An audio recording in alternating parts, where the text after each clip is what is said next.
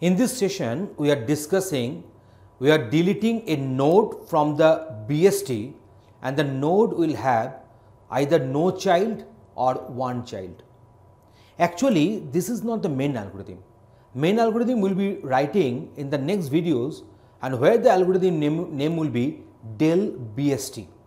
From that very algorithm, this particular algorithm will be called. Here the name of the algorithm is del 1 BST. So, del underscore 1 underscore BST. But this algorithm will be called from the mother del underscore BST algorithm. In the del underscore BST algorithm, in the mother algorithm, it will be checked that the node which is getting deleted is really having no child or one child. If it is so, then this particular algorithm, whatever we are discussing right now, will be called. So, that means there is no need to do a check in this particular algorithm whether this node is having two children or not. So, that check we, we are not going to carry out here.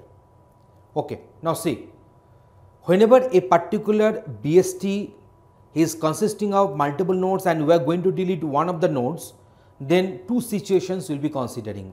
Either the node will have one child or zero child that means this one and the other case will be a node is having two children that will be discussed in the next algorithm. Okay, now let me discuss this one. So, algorithm del 1 BST I am passing three things. One the root. Another one is the lock. Lock means the location of the uh, node which is getting deleted which is going to get deleted. And another one is the part that is its parent address.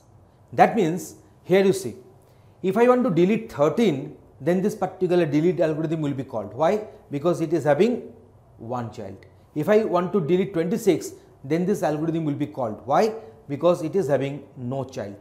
If I want to delete 65 then this algorithm will be called if I want to delete 70 then this algorithm will be called.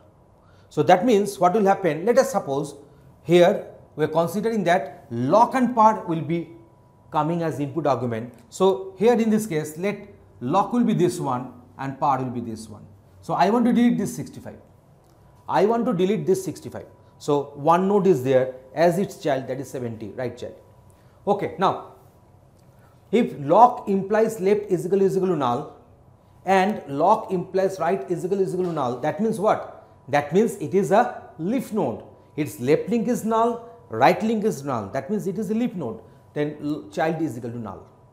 Now, if lock implies left is not equal to null then child is equal to lock implies left otherwise child is equal to lock implies right. Here in this case you see it is having the right child.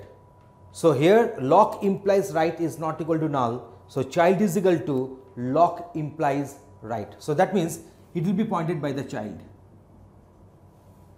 So, part is pointing that one, lock is pointing that one according to the input arguments and this child I have initialized here. Okay. Now, see if par is not equal to null that means the parent is existing. Here you see the parent is existing. Okay. If lock is equal to is equal to par implies left. If the parent's left child was lock then parent's left child that is parent implies left is equal to child. So, child will go to that particular link else parent implies right is equal to child. Here in my case lock is not the parts left child. Here in this case lock is not the parts left child but it is right child. So, this else part will get executed. So, parents right will be equal to child. So, this child will be the parents right. This child will be the parents right. So, what will happen? This child will not be there and it will be going to this parents left child. You see 65 has got deleted. Otherwise, if the part is not existing that means the parent is not existing means what? Means the lock is at the root. So, that is the root is equal to child and return. So, whenever I am deleting the root that means deleting the lock then child will come up. So, this is my this is my lock and this is my child. If I am deleting this lock so child will come up. So, that is why initially I am just updating this child either using null or using lock implies left or using lock implies right and the child is getting placed in the place of lock. So, in this way this algorithm is working. So in the next algorithm, in the next video, we shall be discussing the deletion of a node from the binary search tree containing two children.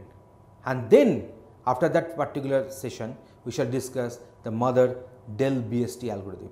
So please keep watching all these videos because they will be coming in continuation. Thanks for watching this one.